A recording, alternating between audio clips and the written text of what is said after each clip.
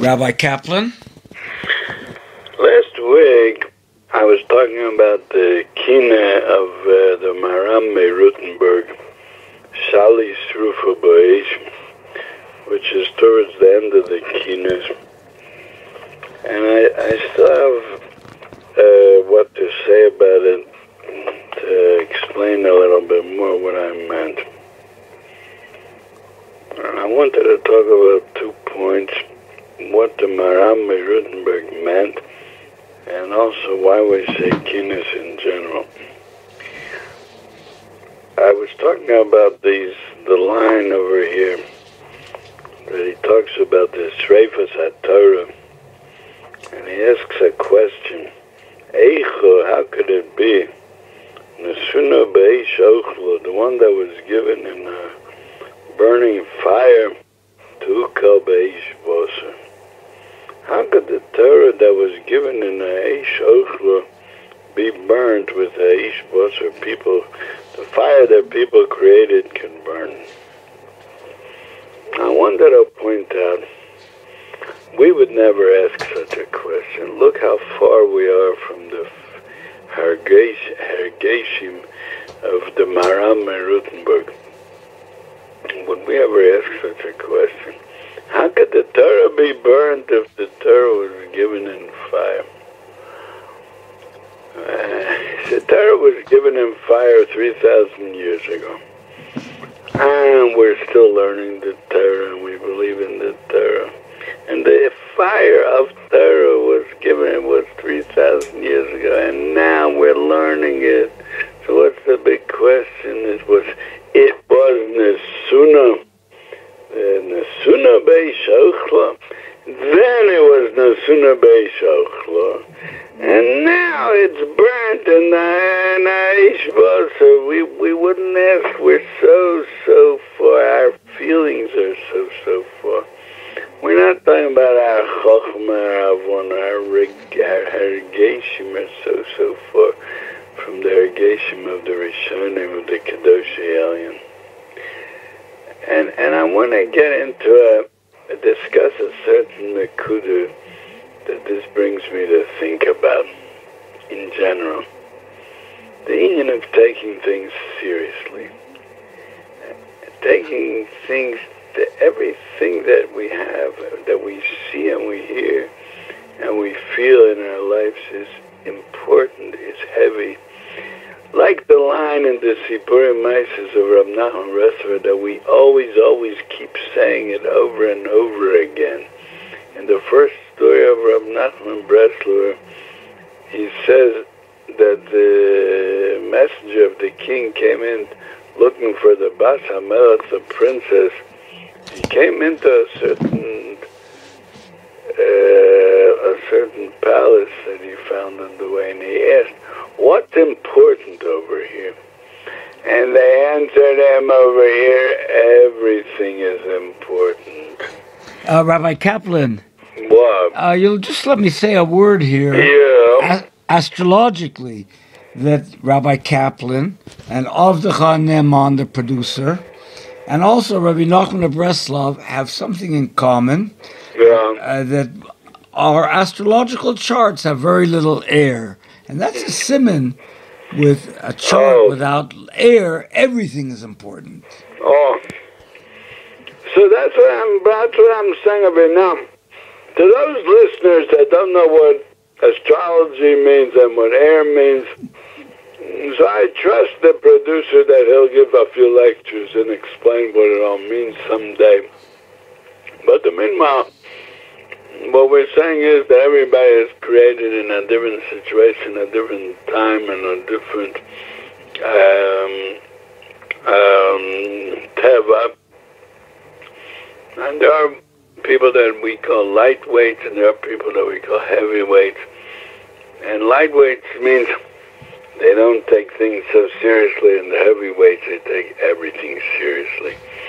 Yet even the us heavyweights that take everything seriously, we have a lot, a lot of avoda to work on ourselves to really reach the level, the level of the tzaddikim, the level the kedoshei elyon, the level that we're supposed to reach, we have a, still a lot of work to do.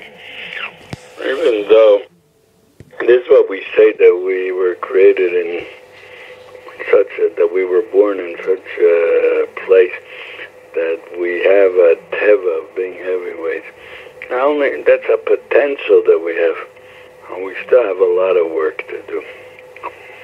And what I wanted to bring out is, again, Rab Nachman Breslover said that it, that they answered the messenger of the king. Over here, everything is seriously. And I would say, when we say over here, it means this world. In this world, everything is seriously. Yet, on the other hand, the Hester Punim is so, so great that what you see, you see a world of lightness. You see a world of Hester Punim. We see a world that the whole purpose is, the whole purpose of all the hard work that we do is to have minutes of lightness, of to rest, to enjoy ourselves, to entertain. And it's it goes so far that in modern Hebrew, in the Chiloni world, there's such a thing as latzeit levalot, to go out and to be mevale. Actually, in, in its real meaning in the Gemara and Brachos Daf Yudah means to waste, to to to make it uh, uh, be ruined from rove use. Levalot, it should be ruined. It should be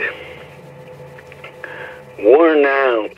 Achia Bala Sisosenu. Yivlu Sisosechem Milamadai, right?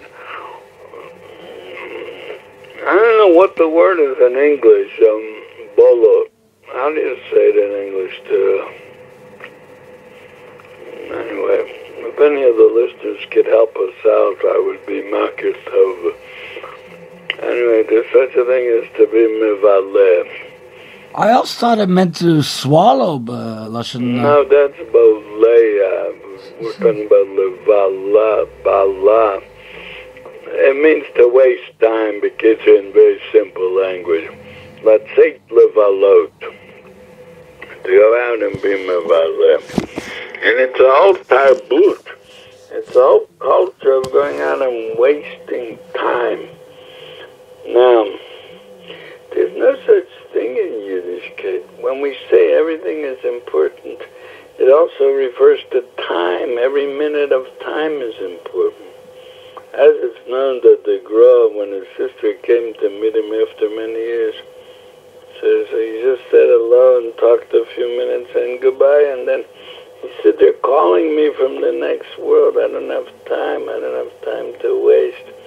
And all the tzaddikim were like that. They felt the time that they had in life.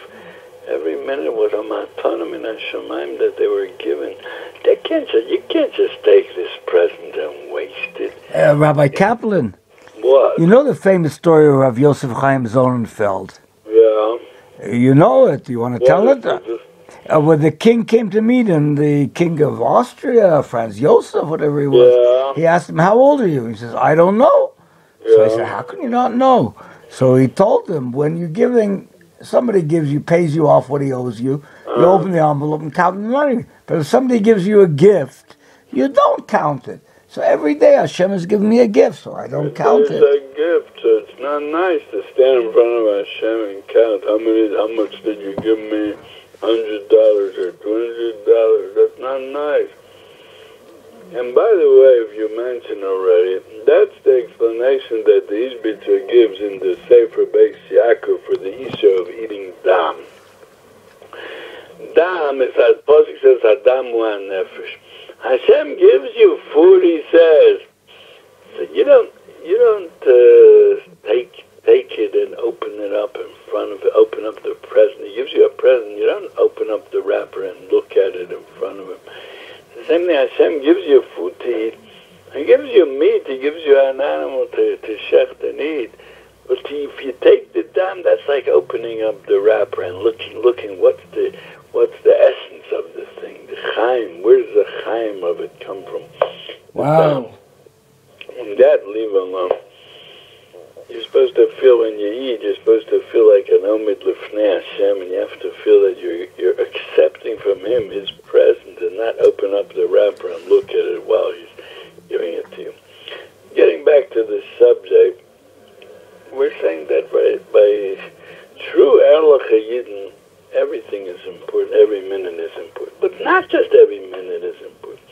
Everything that happens to us in our life every little thing. It, it, it, it could have been, it would have been possible. That person would go in the street, everything he sees, he would learn it. He would learn a limit from it.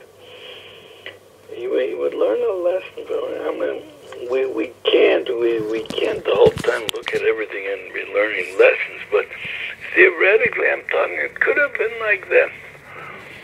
There, I mean, you, you see an run, running after the other. There's what to learn from him. The great tzaddikim, they learned many lessons from the Cossacks, the way the, they're disciplined, their, uh, how they fought wars. There was a lot what to learn from it.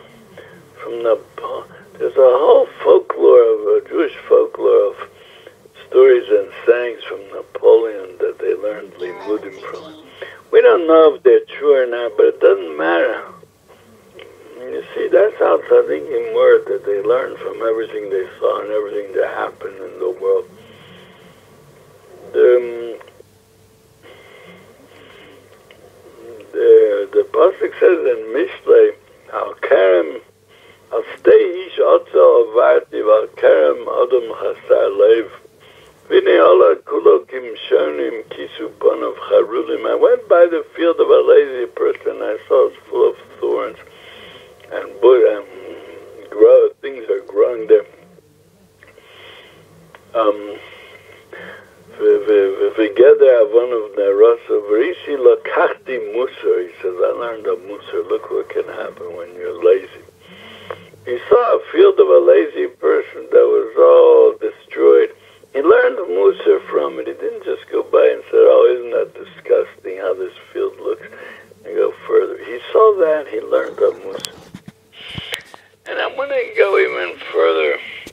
I want to say, you go in the morning, you go out of shul, you see people. You're diamond in a minyan every day, you see the same people in the minyan. You finish the davening, you wrap up your thousand film and you go. But the derech of the the the the, the frierdike Doros, the earlier Dor generations, earlier meaning the the previous generation was you one to another. And I myself saw I there was a time that uh, every like once a week maybe I used to go to the Beis Yaakov shul in Beis Yisrael. You you know where that is? Yeah, of course.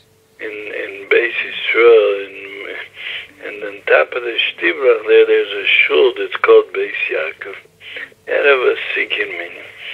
And there was uh, like 12 people, maybe, old Yerushalmi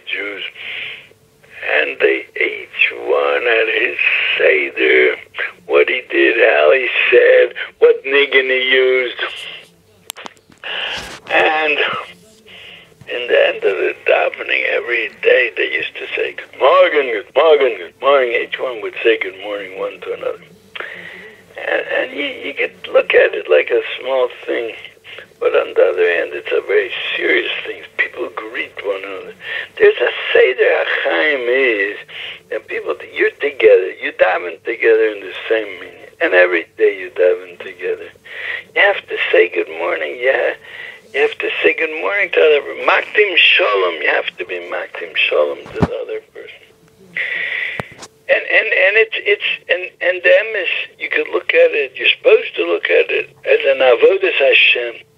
There was an avodas Hashem of davening, and and I would think that some of those yidden there they learned before davening. They made achonas for the davening, and then there's the davening. There's the Yeshmei Rabbah, and in the end of the davening, there's a seder that you say good morning one to another.